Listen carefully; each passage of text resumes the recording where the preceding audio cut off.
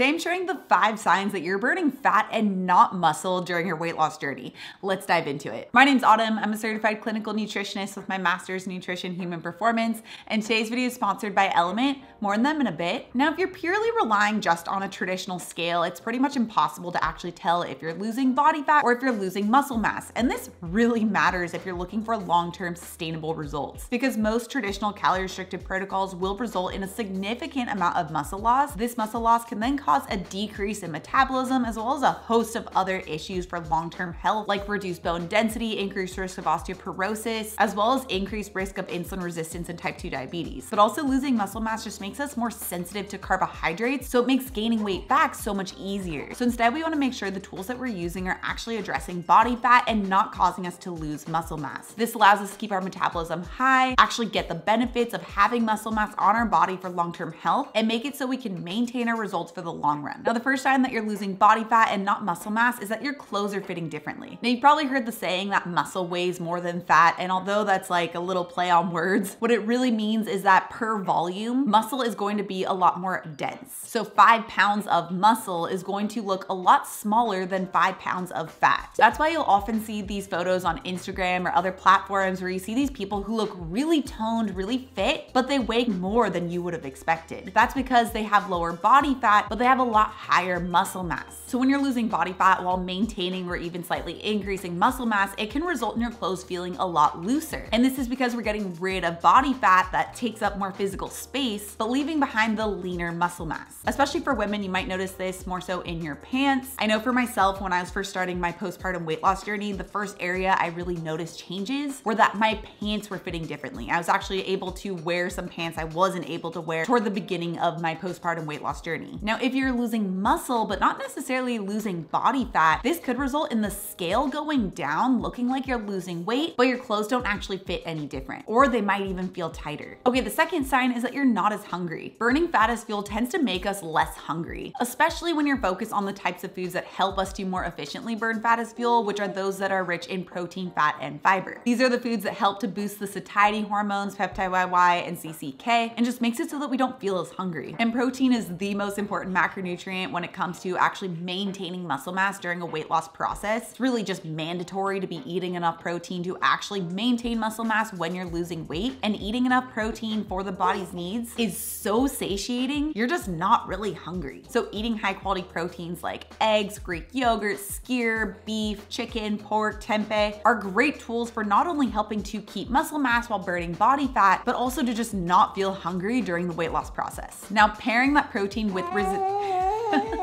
Oh, Seiji. Mm, you just want to say hi.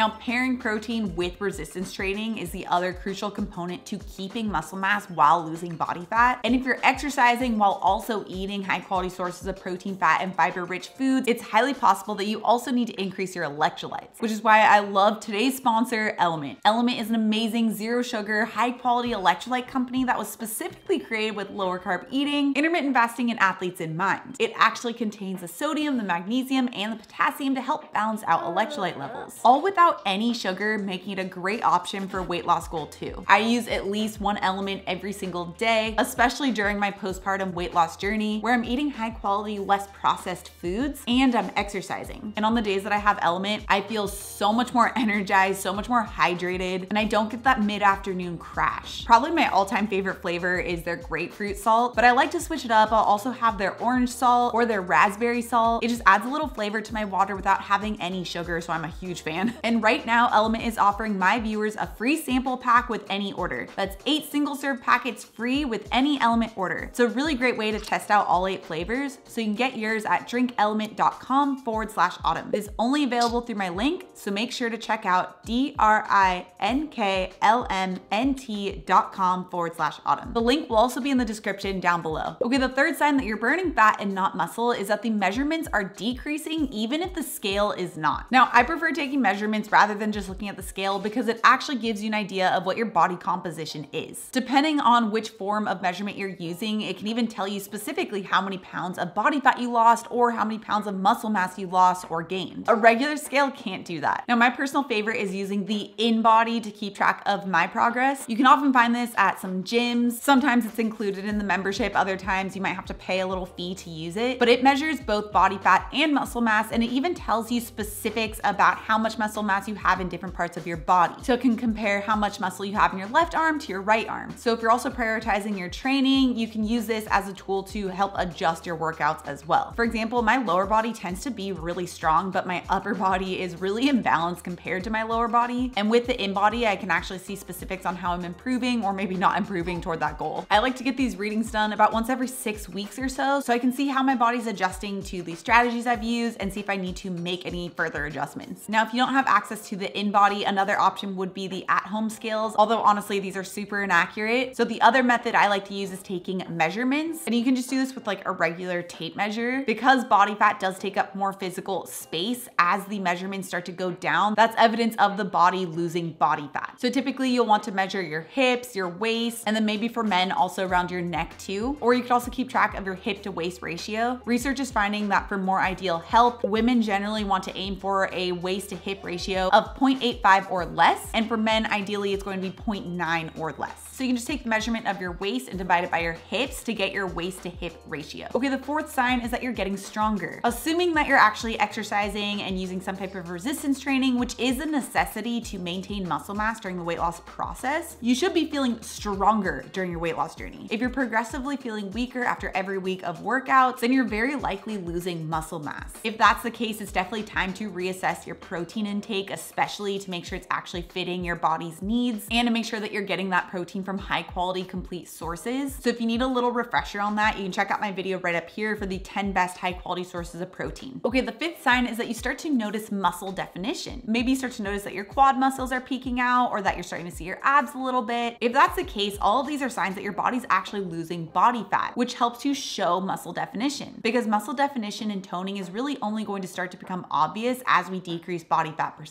Although you can definitely be losing body fat and not noticing muscle mass quite quite yet, but if you do start to notice muscle definition, then that is one way to determine that you're actually burning body fat. This is where taking periodic progress pictures can be helpful for actually seeing this progress, which I did this for myself as well because it's hard to notice those changes day after day, but actually seeing pictures of your progress can really help to see those changes. Now, actually seeing body fat loss results while not losing muscle does require eating enough protein and using resistance training. So if you're curious on how you can actually fit in enough protein to see those results, you can check out what I eat a day with this video next. Also, if you're new to my channel and you love this science-backed information, make sure you subscribe right here. Come out new videos every Tuesday and Thursday. All right, guys, thanks so much for tuning in and I'll see you in my next video.